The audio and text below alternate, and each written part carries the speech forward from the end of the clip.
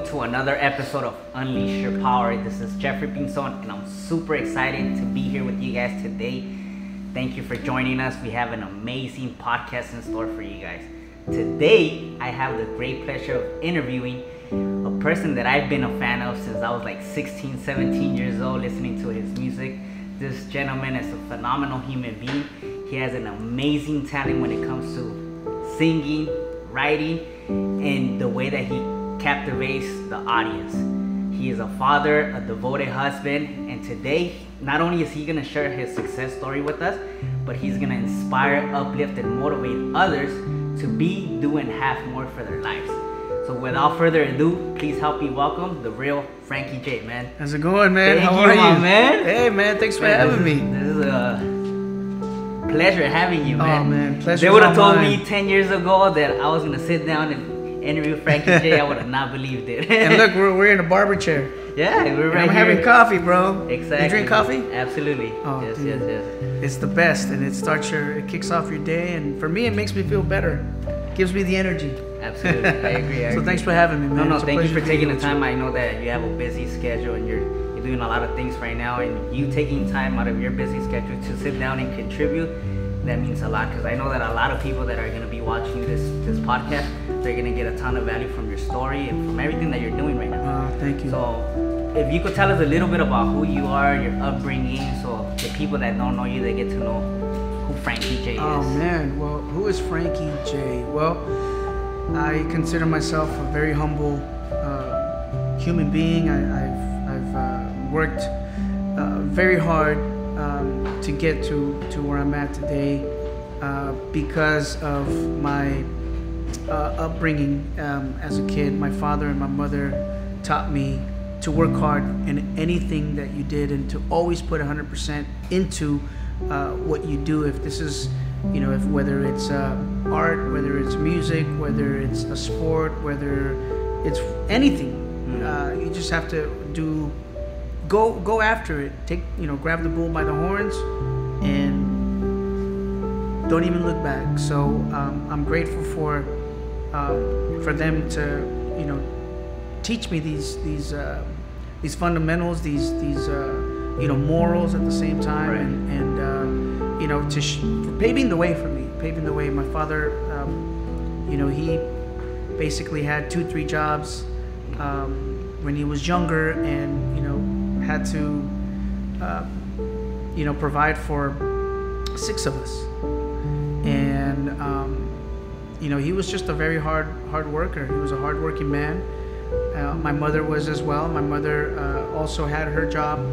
Um, you know, we didn't we, we grew up poor. We didn't grow up with you know all the uh, the riches of life or nothing like that. You know, we grew up in a very humble home. Um, my Where did you father. grow up at? Well, I, I grew up in. Uh, I actually I was born in Tijuana. Okay. I was born in Tijuana, and um, I only lived in Tijuana for about maybe three years, and crossed into uh, to the United States at the age of of three. And believe it or not, man, it was on a Halloween night. It was No a. Halloween night. My uncle uh, gave us a ride uh, one day. Uh, dur- well, actually, it was during during the evening time uh, in Halloween, October 31st of 19. I want to say it was 80, no, 79. It was 1979, and uh, back then they didn't really um, ask you too many questions, you know, crossing the border. and it was my brother, my older brother, who was four years older than me, my older sister, who was two years older than me, and one of my uncles. Crazy because uh, our uncle um, is kind of like a brother to me because he grew up in the same age bracket as us. My grandmother and my grandfather had a had a late bloomer, um, and uh, it was it was kind of a, a, a crazy crazy thing that happened when we were you know very little. My uncle crossed us. Uh, we were dressed up in our, our Halloween costumes Wow. and we just crossed to go trick or treating. The uh, officer just asked my uncle, "So what do you bring in? You know, So you didn't even know what you were doing. No, I was I was not. e- I don't even think I was three years old. I was maybe like two and a half, and um, so you know we we were able to cross the border, we went trick or treating, never went back, Wow. and we stayed in, in San Diego. But uh, but yeah, you know, born in Tijuana, raised practically uh, all my life in, in San Diego, California. wow. Okay. So yeah, What made you get into the I think- music and as a kid, I, I always uh, I always loved music. Um, you know, listening to the radio, listening to uh, all the songs that were playing back then on the radio, watching TV, watching videos. I was always intrigued by the videos. Uh, obviously, Michael Jackson being one of the first artists that I, uh, you know, really really got into um, because of the, you know, his style, his swag, and what what he was doing. He was basically conquering the world at that time. This was mid 80s.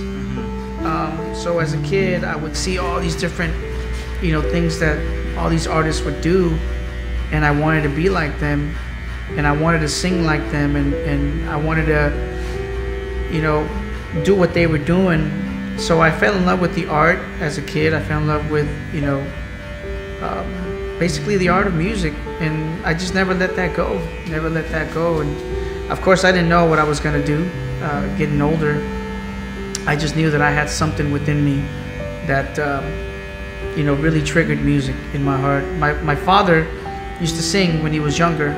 He used to do, you know, tardeadas in Tijuana what's that? tardeadas were like you know certain you know festivals and parties that they would have that, that would happen in Tijuana and where people would go and just enjoy you know themselves with you know their family their friends um, and uh, you know he would do that with some of his buddies. They had just a band that they would do covers. Uh, they, they would perform also like at house parties uh, quinceañeras weddings. So you know and then my grandfather was um, always always played an instrument. He always played uh, violin for the church. So music was already already instilled in, in in the heart of our family. Right. so obviously it had to have come from you know from the from the core you know from there so um, yeah man i guess you know as a kid i just i was meant to you know to do this to do music Do music, absolutely, absolutely. So once you got you you got into the music, you started pursuing it. When did you when did you say like you know what this is something that I'm gonna go all in? Uh, this is something that I want to pursue as a career, uh-huh and I want to be able to de- develop a future with it. At what point did you know that this was something that you were gonna go 100% in? i'll be honest with you man i was always a very shy kid Okay. I was a very shy kid. Um, I loved singing, but I didn't want people to know that I could sing. I was in eighth grade, and you know this is junior high. I was sitting um, in the front uh, of the classroom, and one of my good friends, I still remember her name, Amabel.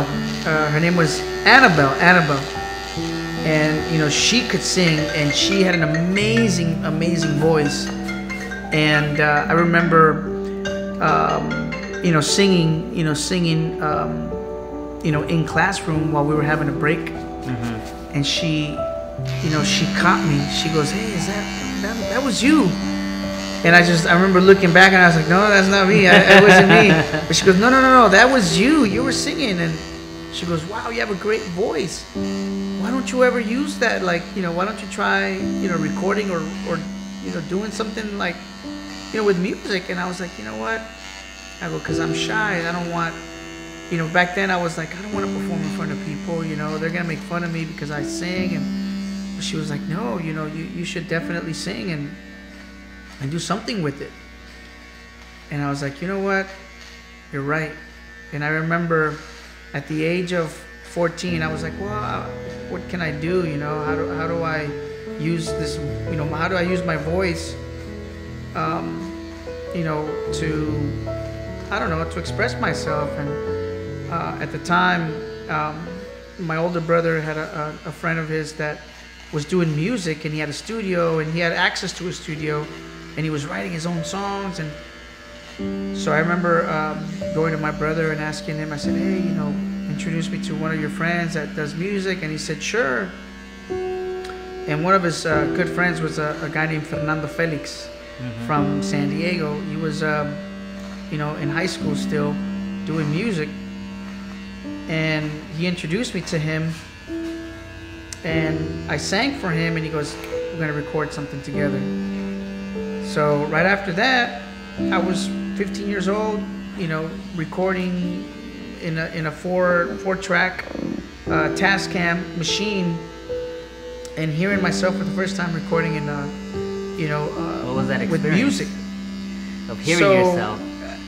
You know, I, I, when I first heard myself, I think I sounded like a chipmunk because my voice hadn't hasn't hadn't been developed yet. I was still, you know, I had the um, as they say the purity voice. Um, but I remember laughing at myself because I was like, "That's not me. That doesn't sound like me. I, I sounded like a chipmunk. I my voice was thin sounding." but there was something about it that I really enjoyed. Um, and of course, hearing myself in a cassette, back then it was a cassette, the tape, you know. But um, I loved it, man. And, and the first time that I heard myself, I was like, wow, this is really cool. And the next step was to perform it in front of people. So What was was that like- like? Since you're, you're, you're a shy person, you don't like singing in front of people, and now you're gonna perform in front of an audience. Uh huh. Well, you know, for me, it was like, okay, I need to perform in front of my peers. How do I do that?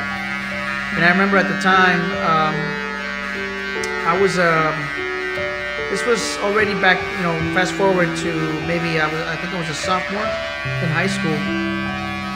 Um, one of the ASB advisors came to me and he goes, hey man, I, I heard that you like, you know, to sing and you know, you have your own music. Would you like to perform, you know, during lunchtime?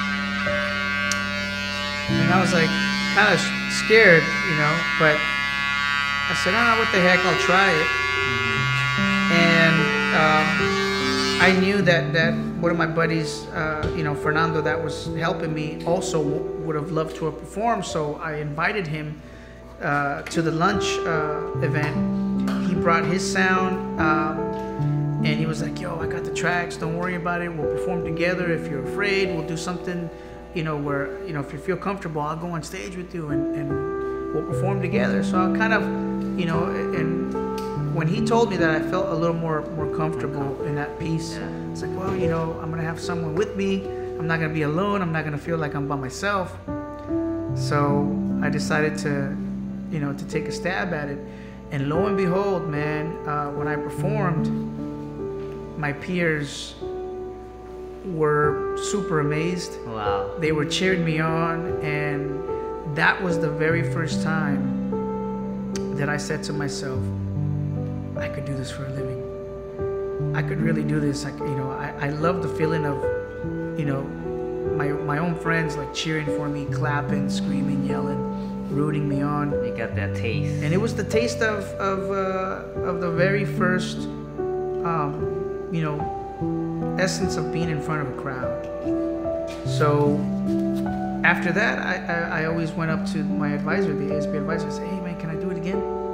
I want to perform again." And so right after that, I, I just kind of got like into it, and all that's of a how it all sudden, now you lost the shyness and everything. yeah, and, and that was uh, that's how it all kind of unraveled for me, and I loved it, man. I just loved having that that feeling of going on stage and singing my own songs and seeing my friends like cheering me on. It was cool, really cool.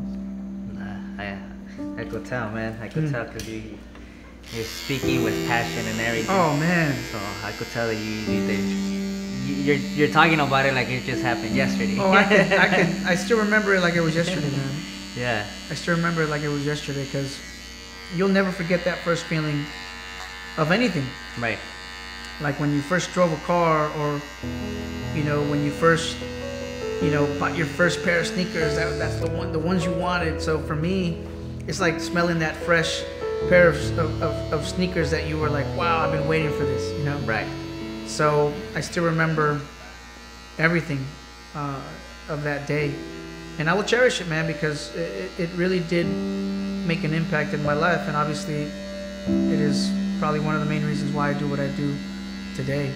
How important is to keep that feeling? How do you continue despite everything that's going on right now, everything that the years that have ha- had Right. passed? How do you still keep that Well, you know, I? I don't think it ever it ever went away. I mean, every single time that I go on stage, it's always that same feeling, that wow feeling, that you know, you feel the butterflies in your stomach. Of course, you feel nervous, but at the same time, you feel good. You know, there's always a little bit of nervousness that goes on inside of you because it's normal. It's normal to feel that way because even though you know the, you know, your fans are gonna love you, the people are gonna love you. There's always that I gotta do something to, you know, make maybe push, push yourself uh, to. How can I explain it, man? It's it's. I mean, at the end of the day, you, you it always feels good no matter what. So you never lose the feeling of that. But it's important to keep to keep yourself mentally ready, physically ready, and spiritually ready because you're going out there to give it your all. And uh, and it's a really really nice feeling, man. It's a really cool feeling. So it just never gets old. Never gets old. What are some lessons that that, that you've learned in, in your journey? Being in being an artist, Being an in- artist? being an artist, being in the music industry, because I'm sure that there's a lot of things that that you had to go through. Yeah. I mean, I think one thing is is about surrounding yourself with good people. Good people, people that are in there for you know to be your friend. Um, because in this industry, there's a lot of fakeness that goes that goes on. I mean, there's people that just want to attach to you because of what you do, who you are. There's people that want to mingle with you because they feel like they're going to get something out of you. Mm-hmm. There's people that are just there to be seen with you because someone else is going to, oh, you know, you're a cool dude or you're a cool girl or just because, you know. So you have to watch out for those kinds of things. And I learned that the hard way. Um, you know, being young, naive, um, and thinking that everybody was your friend at the time uh, taught me a, a big lesson and taught me the, the the truth. Taught me that not everybody that that you, that is in your circle are really your friends, or are really true people, or, or people that are really there for for the right reasons. So I think one thing that you have to you know you have to learn is is how to differentiate people who are true friends and people who are just opportunists. Um, and man, that's that's I think that's probably one of the one of the main things that I would tell anybody who is just you know learning or you know brand new in this industry, who is gaining success, who is you know moving up the ladder uh, as as you would say, uh, to really di- know that the difference between you know friends and acquaintances. Right. Um, so that's definitely one thing. And I think um, another thing that, that I would say is is the business. Learn the business. You know, you have to watch out for sharks in the industry. Sharks in the industry are all over the place, man. So I would say, you know, keep your eyes open, man, at all times. You know, you can get so caught up in your world, you can get so comfortable at, at, at times that you can allow, uh, you know, people to just come and take a bite out of you Right. and make a dent in your in your business and in what you're doing and could really really affect you you know and my, and at that moment in time you might not realize how big of an effect it's taking until you see it you know in the future so Until it compounds, right? yeah and, and and i think that that's something that we need to watch out for and i would i would definitely advise um, you know the, the the you know people who are trying to get involved uh, in the industry to really watch out for those kinds of things because it can it can definitely um, make you or break you Right. So who has been like some of your biggest influencers in the in the industry In the that, that- that supported you and led you on that right path? Oh man, um, I'm trying to think of who in the industry. Um, well, as far as artists, or Artists, Producers. producers, yeah. songwriters. Um, gosh, I don't know, man. I mean, there's so many. Um, I think for the most part, the people that are my friends that I can call friends, um, and people that are real with me, and that have, you know, one way, shape, or form, given me, you know, um, when they give you advice, you know, uh, good advice. I want to say is. Um, you know, my brother Ronnie Bryant, man, he goes by Baby Bash. Um, he's always been, you know, him and I have had a really, really cool friendship for years.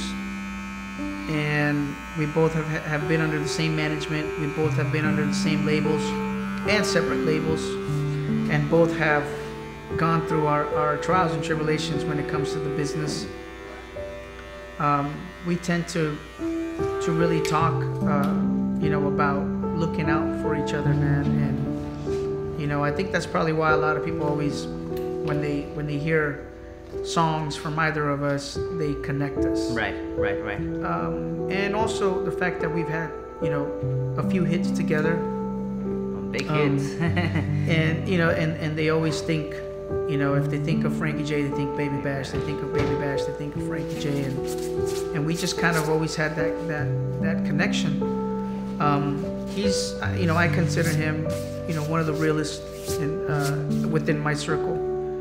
Um, another one is is uh, the girl that I just mentioned to you guys um, that I just literally got out of the studio with. Her name is Paula Deanda. Mhm. She's always been a real, real, real person. And you know, there's there's only a few people that I can, you know, um, you know, from the industry that I can say, you know, those guys are really, really real people. So I gotta ask Frankie, uh, who has been your biggest influencers in your life? Um, man, I gotta say my father. I gotta say my father because, and I'll tell you why. Because he's always worked very, very hard all his life to maintain a family of six. And I saw him work himself to the bone as a kid to where you know, he physically got hurt at his job and, you know, hurt his back and um, couldn't, couldn't, uh, you know, couldn't work like how he used to. Um, but he still went at it and worked after even after he got hurt. With no excuses. No excuses, man. He always had uh, this crazy, you know, energy and strength that he, anything that he did, he always had to um, basically get out of. Like if he got himself in a hole, he would get out of it. Or if he saw that there was a challenge, he would go and basically defeat that challenge. So he taught me to never give up. Um, he's always been a man of his word. If he says he's gonna do something, he does it. Uh, he was always, um, you know, very. Uh, when it came to his mindset, he always basically said, "I'm gonna do it, no matter what." So it taught me a lot as a kid, seeing that, uh, you know, and having that as an example as a kid. I mean, to me, it's like, wow. It's like becomes your hero, Right. you know, your superhero. So, I mean, you know, there's a lot of things that, um, you know, were done that I, you know, where he would see as mistakes, but I never held anything against him because I always said to myself, like, if he's gonna do something and he's gonna, you know, he's he's gonna own it. You know, he's he's gonna admit to his, you know, to his flaws or mistakes. But he was always a man of his word. So I always I always saw that in him, and and um, I definitely have to say my father because he was always a hard worker. How important is hard work for you, and how has that been a, a result of your career? Well, I think it has to be a, a dedication thing. It's like if you're gonna do something, go at, go do it 100%. Don't go 50% on it. You gotta go all the way. So I always put a lot of dedication to everything that I do. Like you said, I just came out of a studio session. I was there practically for almost seven hours. And I drove from San Diego Wow. To be at this studio session. I recorded with my good friend Paula Deanda. Was there, you know, basically vocal producing um, the session and dedicated my, my all to make sure that I got that done. You know, I, I always have to take everything that I do seriously. Right. And uh, so I, I've always applied that example that my father has, has taught me as a kid to, you know, to anything that you do, apply it, apply yourself to it. And never use excuses. Right.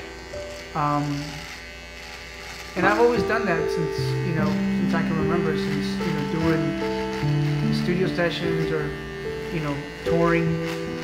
Um, I mean, you name it, Right. and everything that I do. Is there anything that you've done in your career that you regret?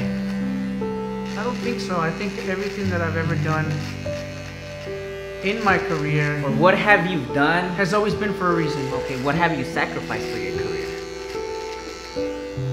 Oh man. I think one of the biggest sacrifices, the biggest sacrifice that I've ever experienced in my career has been I don't even think I've even mentioned this to, to, to anybody is not having the chance to have been there for my son when he was born Wow. it really hit me hard and I, I just remember being in Monterrey, Mexico with the Kumbia Kings having to go on stage knowing that my wife was pregnant about to give birth. And you're part of the lead vocals. And you're touring and you're doing shows. How do you get out of something like that? So I'm sure there would have been a way to do it back then, but I was just so green at that time that you know I didn't um, I couldn't I couldn't get out of it. So that's definitely something that has always hit me.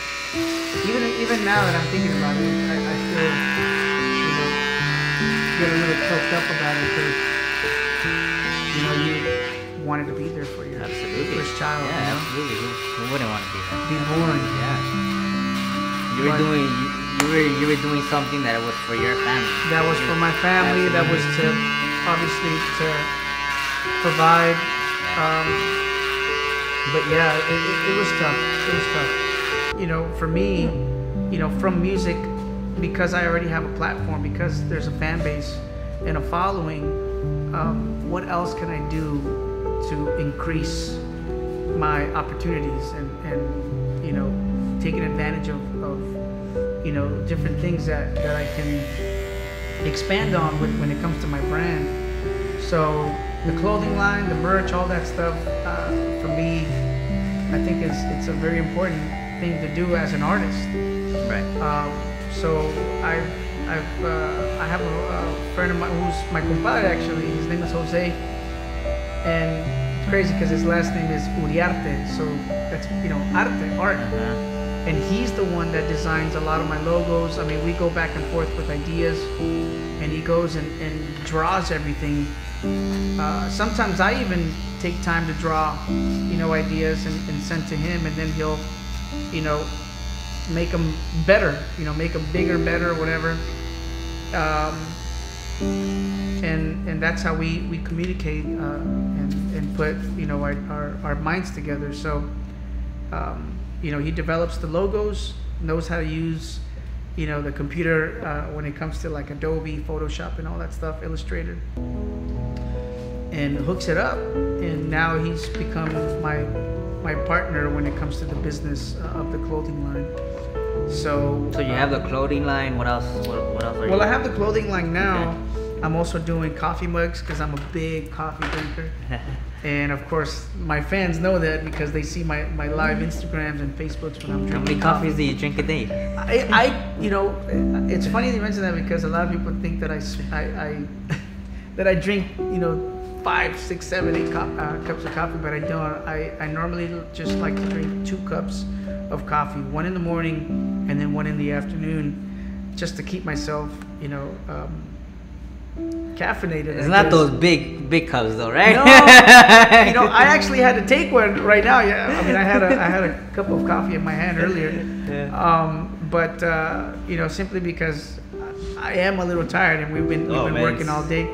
But uh, normally it's just two cups of coffee a day. I don't go beyond that because then I'll start doing this and become all jittery and stuff like that. But uh, but no, I, I I love coffee, so I decided to design a, a coffee cup, and which will be out pretty soon. Um, I'll obviously, you know, you guys stay tuned because it's coming soon. Yes. Um, but yeah, just doing doing those things, man, just to keep myself entertained, to keep myself busy, and to give some, you know, more stuff to the fans. You know, the el público. You know, the, the, they're the ones that keep me going. So, really, really cool stuff. That's awesome, man. That's awesome Yeah. that you're keeping yourself busy and you're Have you're, to. You're growing, you're contributing, you're always coming from a place of contribution. So that's that's, that's amazing. That says a lot about you, your Always. character, and the way that you carry yourself. Just by me talking to you, this this this short interview that we're having, man, I'm getting to know you a little bit better. And Jonathan let me know that, that you were open to do the interview. Like I was nervous until at the beginning of the, uh, because I didn't know Ain't how. nothing to be nervous Yeah, about. you don't know man. about celebrities or anything, but man, you you come across a humble guy, and and, Thank you.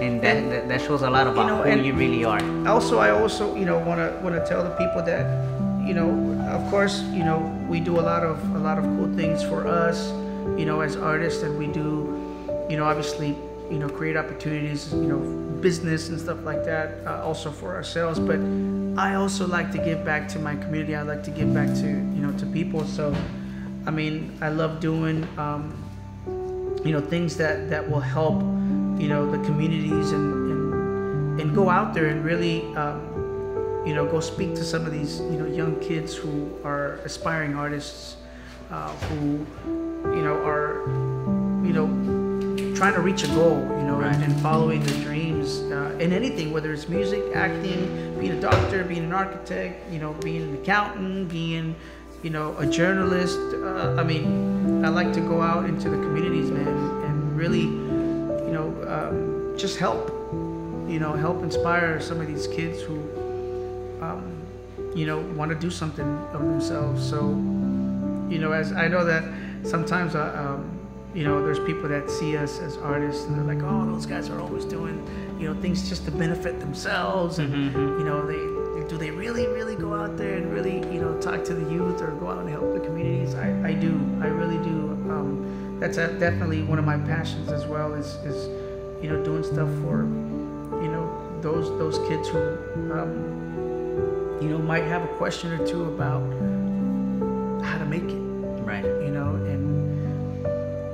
always What tell the kids i always tell the kids you just gotta believe in anything that and basically in what you want to do. Believe in it. Have a passion for it. Uh, do it and go 100% don't ever get sidetracked just because you know somebody might have a different opinion about what you want to do. Um, if that's what's in your heart go for it. Now and you just have tunnel vision on your goal. You're going to make that goal a reality and you're gonna make your dream a reality so don't ever let nothing stop you um, you're gonna go through humps in life but at the end of the day you have to be strong you have to be courageous and get over that so go after your dream go get it make it happen if you believe it you'll achieve it Absolutely. You heard it here. Thank you so much for tuning in. I hope you guys have an amazing day and get a ton of value.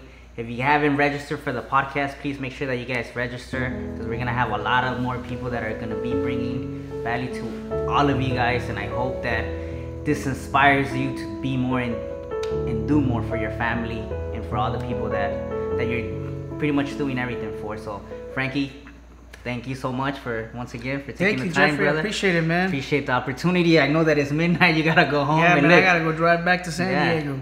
That says a lot about you, man. Appreciate everything. Of course, man. My pleasure. And shout out to Jonathan. Jonathan Boy, Deluxe. Jonathan, yeah, best barber in the business. hey, there he is, dude. He wanted to be a barber. Look, he got his own shop. it's the best in the business. The best in the business right here. All right, fellas. Awesome, guys. You guys have an amazing night. Take care. Hey, what's up? This your boy Frankie J. Don't forget to watch Unleash Your Power with my brother Jeffrey and subscribe.